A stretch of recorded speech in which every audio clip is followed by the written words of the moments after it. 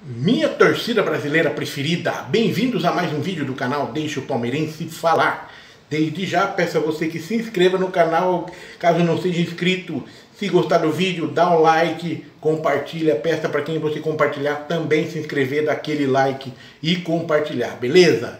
Então, galera, e o Corinthians, né? Faz tempo que eu não falo do Corinthians aqui, né, mano? Então, o Corinthians conseguiu aí, anunciou a contratação do seu técnico de futebol, né? O técnico que estava sendo procurado aí, negociando desde a saída do Silvinho, faz mais ou menos uns 20 dias, e a torcida já estava impaciente, e aí então anunciou Vitor Pereira, português também, né? Coincidentemente, né? Depois de Palmeiras, com técnico português, né? O o próprio Flamengo também com o Paulo Souza e antes o Jorge Jesus, né? Flamengo começou essa, essa moda aí, né? De técnico português no Brasil, né?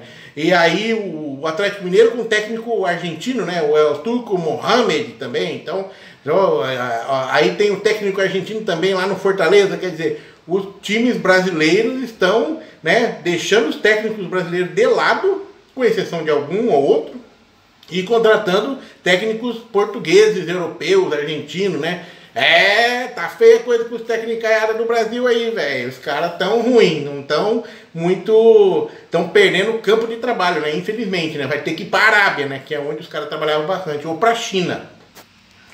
E o técnico do Corinthians tá para chegar aí esse final de semana, mas parece que vai estrear mesmo no dia 5 de março diante do São Paulo, né? Um clássico diante do São Paulo. E eu me lembro muito bem, até esse tempo atrás, que o São Paulo é meio freguês do Corinthians, né, cara? Eu que sou palmeirense, cara, eu não sei, eu acho muito engraçado esse negócio. O Corinthians sempre levava ferro. O São Paulo sempre levando ferro do Corinthians. Eu achava até engraçado, até gostava, na verdade, né? Porque o São Paulino é meio soberba, né? Ainda mais depois que o Palmeiras perdeu esse Mundial, o que mais encheu o saco do palmeirense foram os São Paulinos. Pelo menos o que eu vi aqui, Cara, uma, cara, porque nós temos trimundial lá, na, lá, lá atrás, né? Também, né? Sei lá.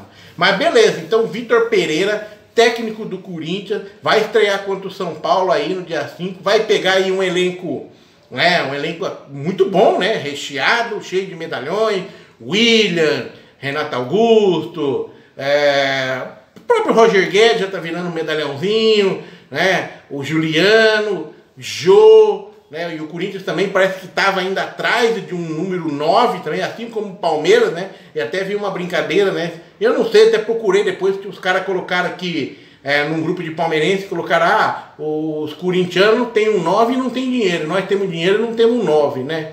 Não sei, eu não vi nenhum, se tem algum 9 contratado aí, eu não achei, né? No Corinthians.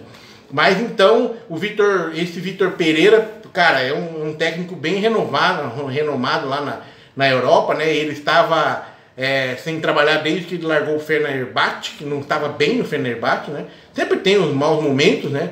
Então ele foi campeão já da Liga Portuguesa, foi campeão na Grécia, foi campeão na China, é, treinou 1860 Munique da Alemanha.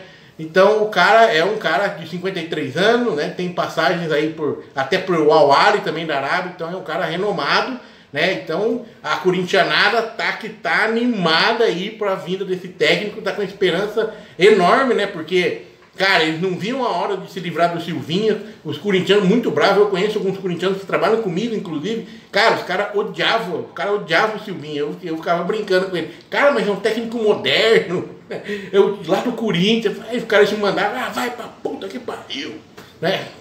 Bravo, né? Corintianada bravo. Então agora acho que os corintianos vão dar uma acalmada aí, né? E eu tava lendo uma reportagem, o William, né? O William do Corinthians, né? Baita no jogador, né? Inclusive, pedindo calma, que o cara vai ter que conhecer o elenco ainda, vai ter que montar o time, né? Não é assim, né? Lembrando que o Vitor Pereira assinou um contrato até o final só de 2022, o que ficou meio estranho, né?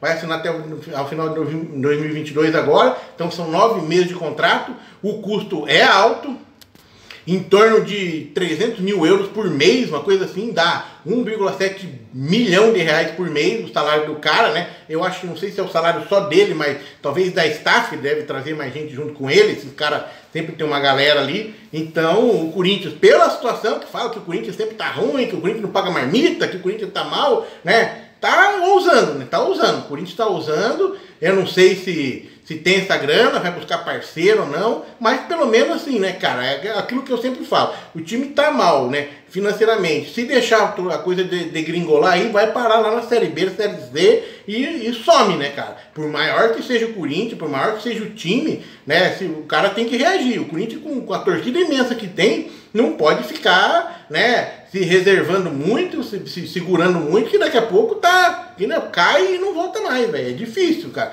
Então o Corinthians, pela torcida enorme que tem, tem mais que montar time mesmo, ir pra cima e jogar, né? Jogar, tentar ganhar títulos, porque só dessa forma não vai sair da situação ruim. Se, se ficar, é, se, se, como é que se diz, né? Se encolher demais, é perigoso, cara. E um detalhe, eu não me lembro muito bem, mas pelo menos que eu acho que foi esse Vitor Pereira que não quis, parece, negociar com o Flamengo porque estava esperando alguma proposta da Europa. Inclusive ele estava negociando com o Everton e parece que não deu certo a negociação e resolveu aceitar essa proposta do Corinthians aí, né? Então, parabéns aí pela diretoria do Corinthians. Pega um técnico à altura do Corinthians, né? um time, time grande, uma nação, é uma nação praticamente, assim como é Flamengo, né? Um time enorme, muitos torcedores, né? Acho que o Corinthians só não é maior que o Flamengo aqui no Brasil em termos de torcedores, né? Não vamos entrar em mérito de título, nada, daqui a pouco né, começa a xingar aí, Neto falando, o Corinthians é maior que todo mundo, né? Aquela coisa toda, né? Mas o Corinthians está de parabéns aí. E é bom, bom para o futebol brasileiro que a gente tenha esses técnicos aí que inovem, façam coisas diferentes, né? É, e que vençam, né? Que é, é o principal, né? Que o futebol brasileiro teve uma época aí que jogava bonito, lindo, mas não ganhava nada, né? A gente precisa de técnicos que tragam a vitória para o futebol brasileiro, até para dar uma animada aí, de repente reconquistar muitos torcedores que a gente perdeu aí. Beleza, galera? Parabéns, Corinthians, Vitor Pereira. Não vejo a hora da estreia. Jogo, se eu conseguir acompanhar Corinthians e São Paulo, vai ser massa, hein? Dia 5 de março aí, ó, estreia do Vitor Pereira, né? Lembrando, né? São Paulo sempre freguês do Corinthians, né? Ai, ai, seria até engraçado, né? E olha que o São Paulo não tá bem também, né? Beleza? Valeu, até mais.